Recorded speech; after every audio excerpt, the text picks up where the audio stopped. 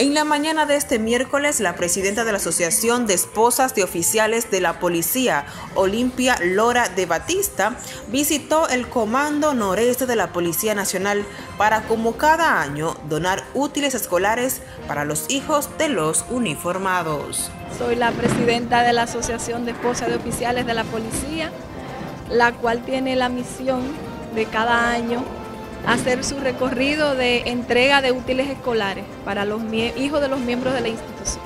Sí, aquí en San Francisco serán beneficiados unos 400 eh, a 500, me parece, policías, miembros. Ojalá estén todos aquí.